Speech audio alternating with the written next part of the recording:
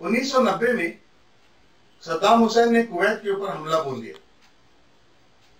लोगों को भारी जान माल का नुकसान उठाना पड़ रहा था।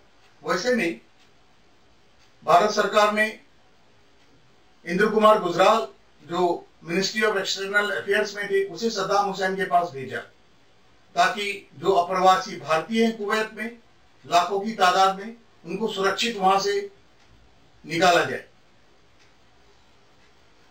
इंद्र कुमार गुजराल जाके सद्दाम हुसैन से मिलते हैं, अपने joint secretary K P Fabian के साथ, और सद्दाम हुसैन से गुजारिश करते हैं कि उन्हें भारतीयों को वहाँ से निकालने में की अनुमति दी जाए। सद्दाम हुसैन मान जाते हैं, और उसके बाद इंद्र कुमार गुजराल एक ब्लू तैयार करते हैं के बी फागियन के साथ मिलकर कि अप्रवासी भारतीयों को वहाँ से कैसे निकाला जाए। हेलो फ्रेंड्स मैं हूँ ओपी सिंह और आप देख रहे हैं फिल्मी विद ओपी इस सब्जेक्ट के ऊपर हिंदी में एक फ़िल्म बनी थी बॉलीवुड में, एयरलिफ्ट, जिसमें अक्षय कुमार ने लीड रोल किया था। अक्षय कुमार ने इसमें रंजीत कात्याल का किरदार निभाया था। इनफैक्ट, हकीकत में,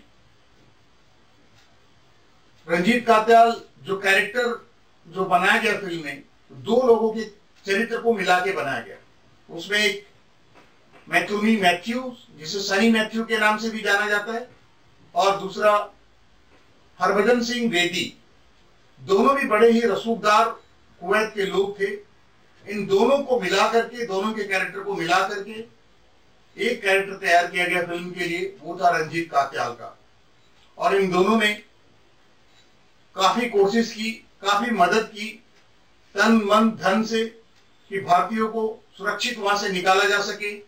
इस दरमियान उन्हें कोई तकलीफ़ ना हो। लेकिन सिर्फ़ ये दो लोग ही नहीं थे, और भी बहुत सारे लोग थे। और इसका जो क्रेडिट जाता है, ये दुनिया की सबसे बड़ी निकासी थी इवाकुएशन बाय एयर वो भी एक सिविल एयरलाइंस के द्वारा इंडियन एयरलाइंस के द्वारा। इस इवाकुएशन की क्रेडिट जिन लोगों को जाती है, उसमें इंडियन एम्बेसी जिन्होंने लोकल बस प्रोवाइडर से बात करके 2000 किलोमीटर दूर जितने भी शरणार्थी थे, उनको अम्मान पहुँचाया बसरा और बगदाद के रास्ते। और अम्मान से ही, अम्मान जो कि जॉर्डन में है, अम्मान से ही इंडियन एयरलाइंस की फ़्लाइट आनी थी और सबको लेके वहाँ से Hindustan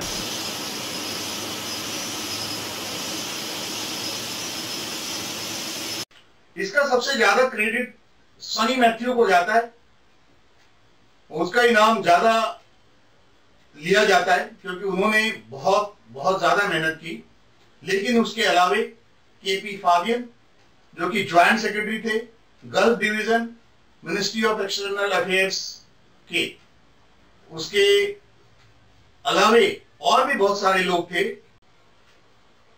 Sunny Matthew KP Fabian Harbhajan Singh Vedi, जो कि पेशे से एक आर्किटेक्ट थे और उनका बहुत रसूख था। सरकार, वहाँ की सरकारों के साथ में भी।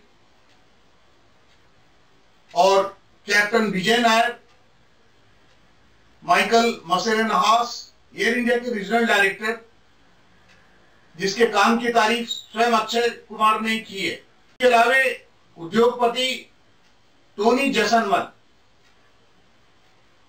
बहुत बड़े व्यापारी हैं, कुवैत के, इन्होंने काफ़ी कुछ किया, लेकिन इनका नाम बहुत कम इस मामले में लिया जाता है, जबकि इन्होंने बहुत कम, बहुत काम किया।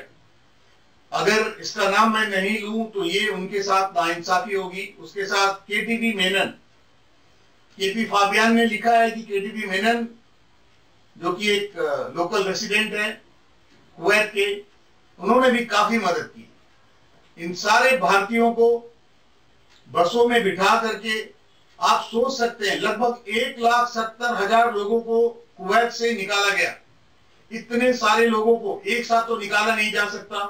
आप सोचिए कितनी सारी बसें लगी होंगी उनको टेंटों में रखने के लिए। ये इसकी थोड़ी बहुत झलक आपको एयरलिफ्ट फ़िल्म में मिलती है, जहाँ लोग हताश हो जाते हैं कुछ लोग और सनी मैथ्यू के साथ भिड़ जाते हैं। कितना मुश्किल था ये काम। और इसको कर दिखाया भारत सरकार ने, इंद्र कुमार गुजराल ने, केपी फाबियन ने, सनी मैथ्यू ने, हरभजन सिंह बेदी ने, कैप्टन विजय नायर ने, माइकल मसरेना हास ने जो रीजनल डायरेक्टर है एयर इंडिया के गल्फ के। इन सब लोगों ने मिलकर किया, जिन्होंने बिना थके, बिना रुके इतने सारे लोगों को इंडियन एयरलाइंस के पायलट्स इंडियन एयरलाइंस के क्रू ये सभी धन्यवाद के हकदार है। इनके लिए तो तालियाँ बसती बनती है और एक बिगुल भी बनती है।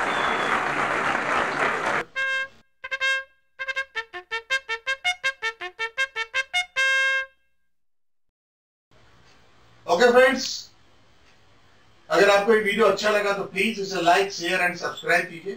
Thank you for watching